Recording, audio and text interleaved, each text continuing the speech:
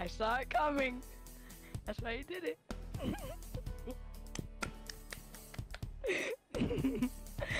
Yay, YouTube channel time.